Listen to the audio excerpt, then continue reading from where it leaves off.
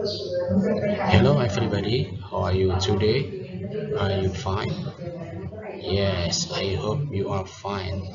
Okay, for today we are going to have the next chapter, that is chapter 5. Kita akan membahas chapter 5 pembahasan pada semester kedua kali ini kita akan mulai dengan chapter 5 mudah-mudahan kalian dalam keadaan sehat walafiat dan bisa tetap bersemangat untuk belajar meskipun di masa pandemi kali ini.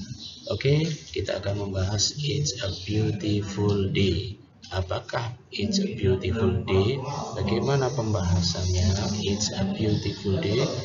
Oke kalian bisa perhatikan pembahasannya dan melihat serta mengikuti videonya dengan seksama. Oke, silakan diikuti uh, penjelasannya tentang It's a Beautiful Day. Perhatikan video berikut ini for the following video. Oke, let's go.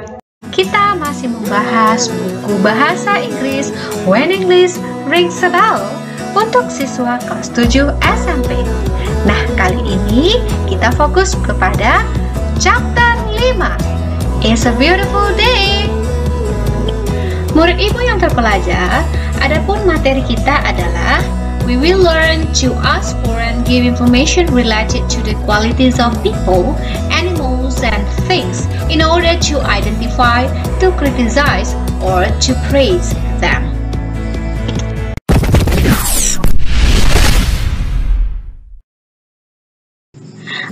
Murid ibu, sekarang kita pahami dulu makna dari pernyataan ini ya.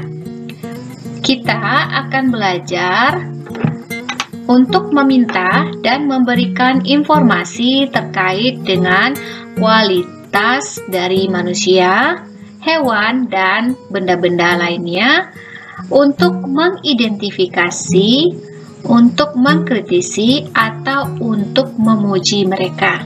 Nah, dem di sini mereka ini mengacu kepada orang, binatang, dan benda-benda lainnya.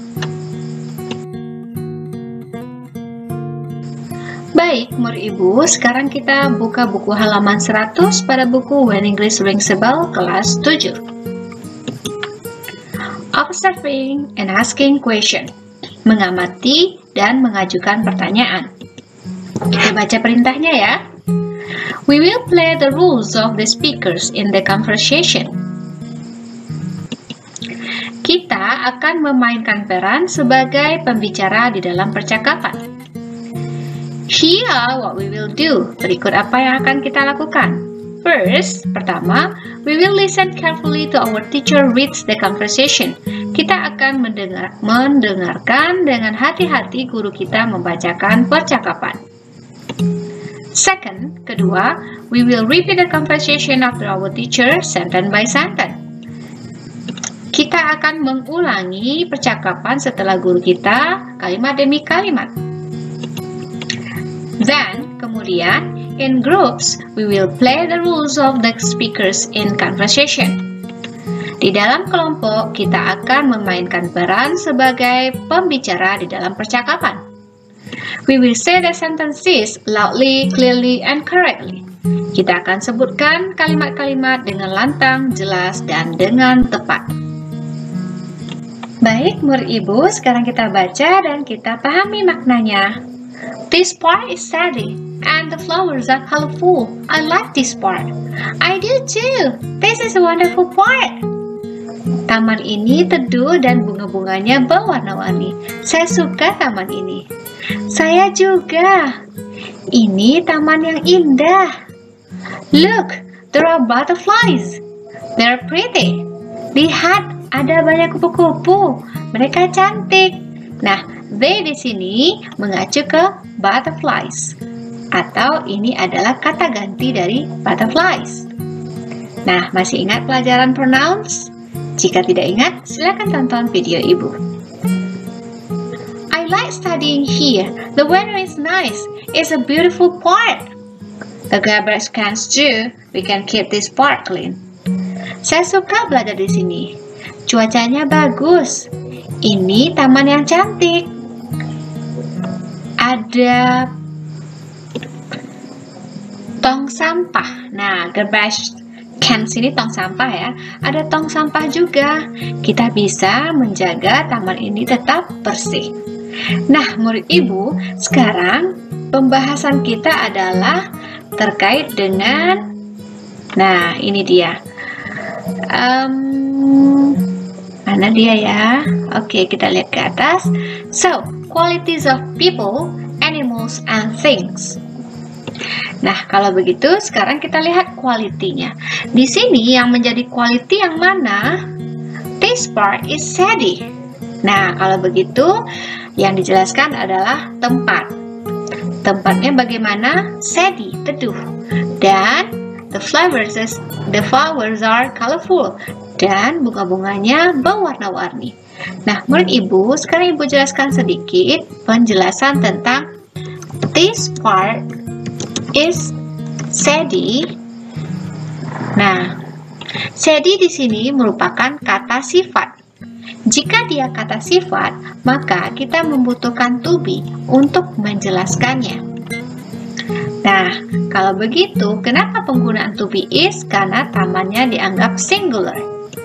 Kalau kita bilang saya cantik, I am beautiful. Nah, beautiful merupakan kata sifat. Maka untuk menjelaskannya kita butuh to be em. Kenapa em? Karena subjeknya I. Nah, kalau begitu, Ibu simpulkan jika subjeknya I, to be-nya am. Jika subjeknya she, he, it, to be-nya adalah is. Jika subjeknya you, they, we, maka to be-nya are. Ini untuk menjelaskan kata sifat. Kalau subjeknya seperti this part tunggal, maka penggunaan to be is juga. Nah, jika subjeknya jamak, contohnya butterfly ini lebih dari satu, maka penggunaannya to be are. Bisa kita jelaskan kupu-kupu sangat cantik. So, kita bilang butterfly. Oke, okay, butterfliesnya banyak. Pakai is, maka kita gunakan to be are. Butterfly are beautiful. Oke. Okay.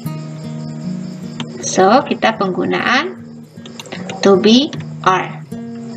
Nah, ini dia. Nah, menurut Ibu, jadi ketika kita menunjukkan sifat seseorang, sifat suatu benda, bagaimana keadaannya, kita harus menggunakan to be di dalam menjelaskannya. Nah, kalau to be ini tergantung kepada subjeknya masing-masing. Perhatikan subjek yang Ibu garis bawahi adalah subjek dari kalimat. Oke? Okay? Paham sedikit ya? Nah, kalau begitu di sini juga ada This is a wonderful park. Nah, ini taman yang indah. Wonderful juga merupakan kata sifat. Kalau dia kata sifat, maka kita juga menjelaskannya menggunakan to be. Namun di sini sudah berubah menjadi a beautiful part, itu merupakan kata frasa, namanya noun phrase. Nah, jadi caranya adalah masukkan dulu a diikuti oleh kata sifat atau adjective baru diikuti oleh kata benda. Mana yang menjadi kata bendanya? Kata bendanya adalah part.